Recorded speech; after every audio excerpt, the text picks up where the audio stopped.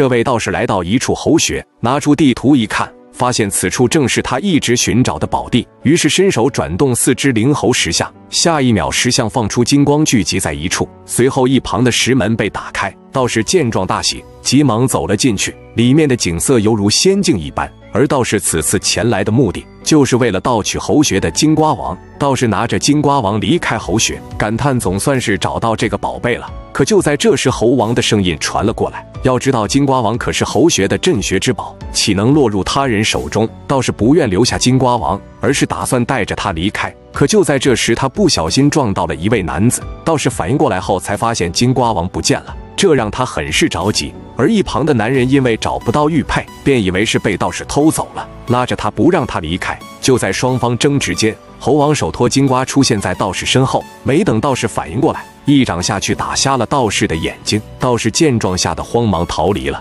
男人以为猴王要对他下手，于是赶紧跪地求饶，声称家里还有妻儿老小，希望猴王可以堪饶自己一命。没想到猴王伸出手将男人扶了起来，认为刚才要不是他相助，金瓜王早就被那个臭道士拿走了。猴王捡起掉在石头缝里的玉佩，看到自己的玉佩在石头缝里，男人这才意识到自己刚才误会了猴王。为了感谢男人帮忙，猴王向玉佩吹了一口灵气，称已经在玉佩上施了法，以后不管男人有任何困难。都可以寻求他的帮助。说完，就化作一道金光回到了猴穴中。男人名叫老陈。转眼间二十年过去，老陈的儿子陈家贤已经长大成人，在林家的果园里做帮工。林老爷带着女儿金娘到果园视察。林老爷总认为家贤做事偷懒，金娘却开口替家贤说起了好话，说如果不是家贤每天认真工作，家里的果园也不会年年大丰收。金娘的话让家贤很是感动。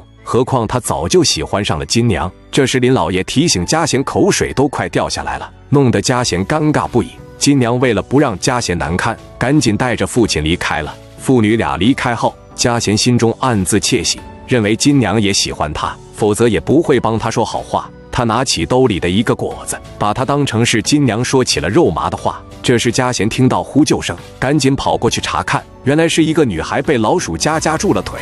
善良的嘉贤赶紧上前解救，还贴心的为女孩包扎了伤口。女孩很是感激，但也纳闷捕兽夹是谁放的，这样很可能会伤害到其他动物。世上所有生命都是很珍贵的。在贤听后，赶紧表示他会将所有老鼠夹扔掉，免得伤害到其他动物。女孩听后，这才感到满意，并介绍自己的名字叫仙玉。在贤有些疑惑，这里是林家的果园，仙玉怎么会一个人出现在这里？仙玉赶紧解释自己是外地人，不小心迷了路。在贤担心受伤的仙玉无法行走，便打算亲自送她出去。另一边，二十年前被猴王打伤的道士再次来到猴穴，当年被猴王打瞎一只眼。影响了他的道行，好不容易才修炼回来。道士暗想，此仇不报非君子。他要拿到金瓜王治好自己的眼睛。道士像二十年前一样转动石像，却发现没有任何动静，猜测是猴王将通往灵猴仙境的路封起来了。道士气愤至极，却也只能先行离开。来到街上后，他注意到了一张熟悉的面孔，想到当年的一幕，道士不由感叹：真是冤家路窄。当年如果不是这个人坏了他的好事，他的眼睛也不会瞎。发誓一定要出这口恶气。回去后的老陈忙着砍柴，却不知危险即将来临。这时道士偷偷走了进来，趁着老陈不注意，一掌下去将他打晕在地。当在贤回到家时，发现父亲已经倒在地上不省人事了。在贤很是崩溃，但躲在门口的道士却露出了得逞的笑容。在贤找到大夫，希望他救救自己的父亲，可大夫告诉在贤：“你的父亲已经没救了。”就算是大罗神仙也救不了他。在贤不愿意放弃，他拿出带在身上的玉佩，想到曾经父亲告诉过他，只要拿着这块玉佩去猴穴，就会出现通往灵猴仙境的路。但父亲也告诫他人妖殊途，如果不是到了生死关头，最好不要进去打扰猴王的修行。在贤此刻有些犹豫，害怕父亲告诉他的只是一个故事，世上根本没有灵猴仙境。这时道士走过来。说看到在贤这么着急，提出要帮他解决问题。在贤不知面前道士的为人，便说自己父亲现在有生命危险，可村里的大夫都不肯上门医治。道士听后劝在贤去猴穴碰碰运气。他听说猴穴的猴大仙非常灵验，说不定可以救在贤的父亲。在贤赶紧说自己要找的不是猴大仙，而是灵猴仙境的猴王。道士告诉在贤，他曾与猴王有过一面之缘。灵猴仙境中有颗金瓜王，上面的金瓜可以治百病。还能让人长生不老。得知灵猴仙境真的存在，在贤又燃起了希望，想让道士带他去摘金瓜。道士说他愿意帮忙，但二十年前猴王封住了去往灵猴仙境的路。在贤听后拿出玉佩，说有了这枚玉佩就能顺利进入。他不知道的是，道士是想利用他拿到金瓜王。在道士的带领下，在贤来到了猴穴门口，他将玉佩放在石像前。奇怪的是，没有任何反应。道士以为在贤是在骗他，骂骂咧咧的转身离开了，只留下在贤一人待在原地。这时他想到父亲曾教给他的咒语，念出咒语后，大门果然打开了。还没走远的道士听到洞门开了，于是激动地跑了进去。来到灵猴仙境后，在贤不禁感到震撼，他从没见过这么美丽的地方。原来父亲所说的都是真的。这时道士注意到不远处的金瓜树，两人立刻跑了过去。道士让在贤去摘金瓜，他则是站在下面帮忙接手。在贤小心翼翼地爬上去，就在他准备摘下金瓜时，被看守的猴仙抓了个正着。道士见势不妙，急忙逃了出去，还埋怨在贤是个没用的男人。仙玉带着从人间摘来的水果，准备拿去让父亲尝尝。原来她是猴王的女儿，也是灵猴仙境的公主。看到阿猴扶着一个人，于是疑惑地上前询问情况。阿猴告诉仙玉，刚才来了两个人，想要偷取金瓜，可惜另一个道士逃跑了，他只抓住了这个男人。说完，还抬起了在贤的脑袋。仙玉看到在贤的模样。一眼就认出这是昨天救他的男人。倘若在贤被带到父亲面前，必定是死路一条。他为了报答恩情，便让阿侯将在贤送去他的房间，打算等在贤醒来后再问问究竟是怎么回事。看着毛茸茸的双手，仙玉害怕在贤醒来后会被他吓到，于是变换成了人形。不久后，在贤苏醒过来，疑惑自己这是在哪里。看到面前的仙玉后，更是惊讶他怎么会在这里。仙玉解释，这是在他家看到在贤的手受伤了，于是用手轻轻拂过，下一秒在贤手上的伤口愈合了。在贤意识到仙玉会法术，急忙请求他救救自己的父亲。这时仙玉的猴子尾巴突然显露出来，在贤这才意识到仙玉是妖怪，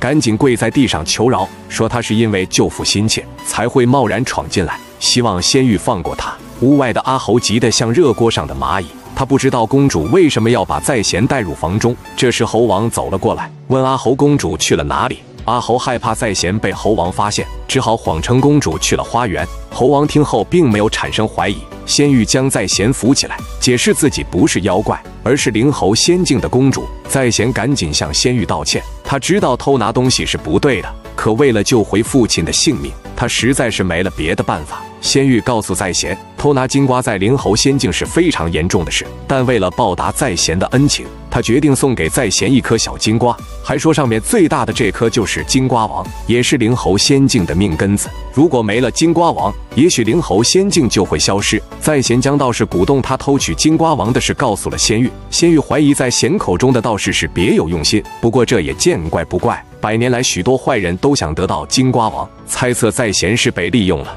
提醒他以后要多多注意。接着从树上摘了一颗小金瓜，交给在贤，让他带回去救他父亲，并且不能被人知道，否则会产生严重后果。在贤为了感激，便将自己的祖传玉佩给了仙玉。告别仙玉后，他准备拿着金瓜回去救父亲。怎料这一幕被猴王看见，猴王见有凡人闯入，还带走了珍贵的金瓜。这让他很是生气，为了不造成严重后果，便施法让在贤忘记了在灵猴仙境发生的所有事。不久后，在贤醒来，他感到头痛欲裂，记不清发生了什么事，只记得是道士带他来到了这里。这时，在贤摸到了地上的金瓜，以为是猴王显灵了，急忙拿着金瓜回去救父亲。他把金瓜压成汁水喂给父亲喝，下一秒，父亲的病痊愈了，还感到浑身精力充沛。在贤疑惑：真的有这么神奇吗？于是也喝了一口金瓜汁，果然感觉身体舒服了许多。而另一边，仙玉因为私自把金瓜交给凡人，令猴王震怒，责令他在房间里反省，还在门口设置结界防止他出去。仙玉为了逃出去，谎称自己肚子疼。门外的阿猴害怕公主真的出事，于是撤掉结界，打算进去看看情况。躲在一边的仙玉趁机用甜瓜砸晕阿猴，并趁机逃了出去。与此同时，在贤因为要照顾父亲，好几天没有去果园工作。这让林老爷很是不满，说因为在贤没去果园，许多果子都被猴子偷走了，并表示要扣除在贤半年的工资。在贤希望林老爷通融一下，他和父亲就靠着这份工资生活，而且这些天他因为要照顾父亲，暂时不能去打理果园。林老爷气急败坏，说着就打算拉在贤去干活，在贤下意识的甩开，结果害得林老爷摔倒在地。林老爷以为在贤要造反，拿起扫把就打算教训他。这一幕正好被仙玉看到，于是施法让林老爷做出奇怪的动作，活脱脱像个猴子。只见他推着板车朝在贤走来，在贤见状直接推了回去。躲在一边的道士看到在贤，感叹他竟能从灵猴仙境逃出来。父女俩离开后，仙玉来到在贤面前，但因为在贤被猴王施了法，此时他并不认识仙玉。仙玉赶紧将两人认识的经过讲了出来，但在贤还是想不起来。仙玉没办法，只好拿出在贤给他的玉佩，在贤仍旧没想起来，还误以为是仙玉偷了他的玉佩。仙玉听后赶紧解释说这是在贤送给他的。因为太激动，竟露出了尾巴。道士看到仙玉的尾巴，猜测他是猴精，于是急忙朝着他走去。仙玉见道士来者不善，抢走在贤手中的玉佩后，迅速跑开了。道士将在贤带到树林里，询问他在灵猴仙境发生了什么。在贤被猴王消除了记忆，不记得那天发生的事，只知道父亲吃了金瓜后就康复了。道士得知在贤拿到了金瓜，赶紧让在贤带他回家看看。没想到两人的对话正好被金娘听到。他也不禁对在贤口中的金瓜产生了浓厚兴趣。来到在贤家里，倒是亲眼看到了金瓜，这让他觉得不可思议。在贤是怎么轻而易举把金瓜带回来的？老陈见到道士的样子有些眼熟，询问二人是不是在哪里见过。道士怕老陈认出自己就是打伤他的人，赶紧谎称自己长期在山上修行，这是第一次下山。老陈听后这才打消了疑虑。这时道士一把掐住在贤，逼他说出进入灵猴仙境的咒语。在贤只好告诉道士，他是凭借玉佩进去的，只是现在那枚玉佩不在他手上。道士威胁在贤，如果再遇到那位姑娘，就把玉佩拿回来，否则他们父子俩只有死路一条。说完，这才愿意放过在贤。另一边，仙玉正疑惑在贤怎么不认识他，这时阿猴找了过来，劝说仙玉赶紧回灵猴仙境，还无意间将猴王消除在贤记忆的事说了出来。仙玉这才明白一切。打算去找在贤把事情讲清楚。如今小金瓜在在贤手上，如果他被利用，到时整个灵猴仙境都会遭殃。与此同时，金娘和林老爷为了得到金瓜，特意邀请在贤来家里吃饭。在贤不知金娘的用意，一杯杯酒下肚，很快就喝得酩酊大醉。在金娘的询问下，他将去过灵猴仙境的事说了出来。林老爷听后大喜，赶紧让在贤带他和金娘去看看。酒醒过后的在贤十分后悔，如今身上没了玉佩，他无法进入灵猴仙境。林老爷以为在贤是在说谎，生气的辞了他的工作。就连金娘都对在贤失望透顶，说以后都不想再见到他，这让在贤懊恼不已。而仙玉将这一幕看在眼里，他知道在贤已经忘了自己，所以不好出面，于是悄悄在他家门口放了水果。父子俩尝了一口。发现里面的水果比邻家果园的还要甜。然而就在这天，仙玉再次送水果时，被出门的在贤看到了。在贤看到面前的仙玉，怀疑他偷了别人的水果要陷害自己。仙玉赶紧解释，他只是想报恩，说上次他被捕受家家盗，是在贤救了他。在贤想起当天的事，这才意识到是自己误会仙玉了。因为在贤没有工作，仙玉便想到让他去街上卖水果茶。灵猴仙境的水果十分香甜，村民都很是喜欢，摊位前排起了长龙。在贤也因此赚了许多银子。就在二人庆祝时，道士突然出现，逼迫仙玉把玉佩交出来。见仙玉不肯，于是跟他打斗了起来。仙玉敌不过道士的修为，被打得节节败退。眼看着道士就要下死手，在贤及时上前挡住，这才保住了仙玉的命。这时道士拿出一串佛珠，只见佛珠飞到空中，散出光芒，仙玉也因此现出了原形。在贤看着这一幕，不禁傻眼，这才意识到仙玉是只猴精。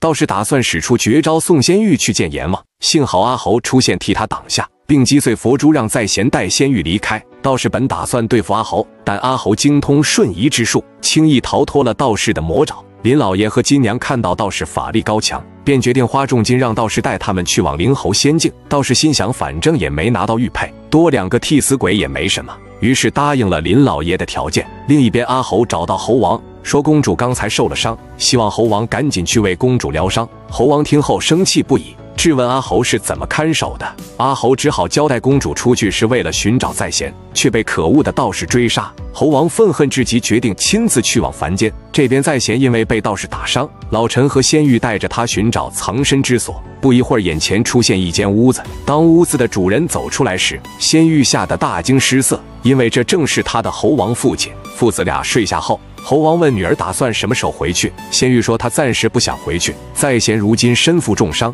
他绝不能袖手旁观。何况在贤曾救过他。猴王害怕仙玉待在凡间会有危险，说什么也要让他尽快跟自己回去。屋里的老陈被父女俩谈话的声音吵醒，于是出来查看情况。竟发现了仙玉的猴子尾巴，还没等老陈说话，猴王一把掐住他的脖子，说：“你已经知道了我们的身份，那你就必死无疑了。”听到动静的在贤出来，看到父亲有危险，急忙上前帮忙。猴王也因此看到了在贤脖子上的玉佩，这才意识到老陈就是自己的恩人。为了报答老陈的恩情，他决定送给父子俩一个聚宝盆，说只要把他们需要的东西放进聚宝盆里，就会变得越来越多。但如果用聚宝盆做坏事，就会产生严重后果。之后又施法让在贤想起了他去灵猴仙境的事情，在贤这才想起原来仙玉为他做了那么多事。为了不让父子俩被打扰，猴王在这间房子设下结界，让他们暂时住在这里。交代完一切后，猴王这才带着仙玉离开。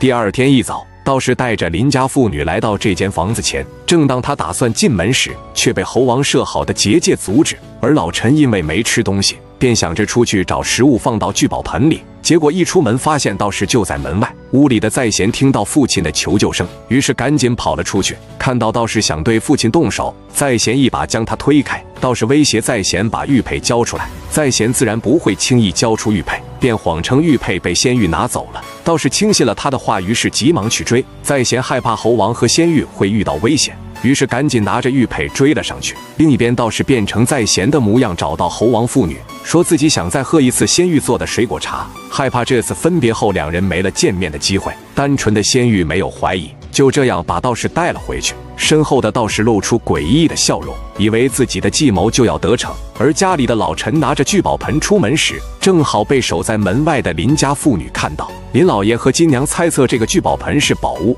于是直接从老陈手中抢了过来。老陈只能眼睁睁地看着他们父女俩将聚宝盆拿走。回去后，父女俩迫不及待想看看聚宝盆是否真的能发财。金娘把一只耳环扔进去，下一秒竟变出了满满一盆。父女俩兴奋不已。赶紧将身上所有金银首饰扔了进去，只见金光一闪，盆子里出现了满满当当的金银首饰。父女俩欣喜若狂，看来只要有了这个聚宝盆，他们林家不用种水果也能不愁吃穿了。就在父女俩开心的把金银拿到手里时，下一秒金银突然消失不见，手上竟长出了猴毛，身上也开始奇痒无比。看来猴王说的是真的。一旦用聚宝盆做坏事，就肯定会受到惩罚。与此同时，道士在仙玉的带领下，顺利进入了灵猴仙境。做水果茶时，偷偷将一包粉末放入其中，然后劝仙玉帮他尝尝味道。正当仙玉准备喝下去时，猴王走了进来。道士心想，干脆一不做二不休，他盛了一碗水果茶给猴王。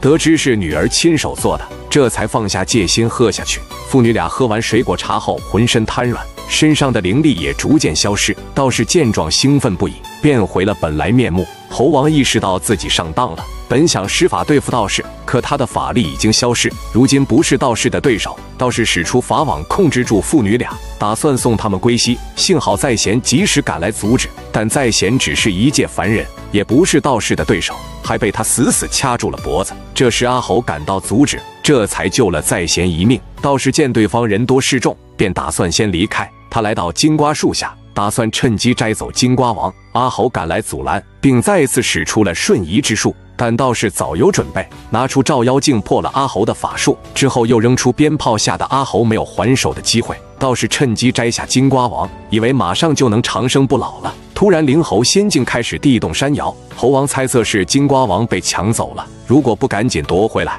猴灵仙境很快就会消失。道士拿着金瓜王准备离开，没想到正好被老陈发现。老陈知道这是灵猴仙境的宝贝，绝不能被道士抢走。说着就上前去抢，可道士又怎么会轻易放弃？一掌下去，老陈没了动静。很快，在贤带着猴王父女俩追了上来，逼迫道士将金瓜王交出来。可道士苦等二十年，就是为了今日，又怎么会轻易交出去？他倒要看看打开金瓜王后会发生什么事。就在道士打算徒手剖开金瓜王时，突然闪电充斥了他的全身。就这样，道士为他的行为付出了惨痛代价。在贤有些疑惑，道士怎么会突然死去？仙玉猜测是上天有灵，不希望有道士这样贪心的人存在，所以才会让他得到报应。事不宜迟，大家赶紧带着金瓜王回到灵猴仙境。在众人的努力下，金瓜王被重新放回了原处，灵猴仙境也终于恢复了本来的模样。然而，当在贤回去时，发现父亲已经驾鹤西去了。在贤悲痛不已，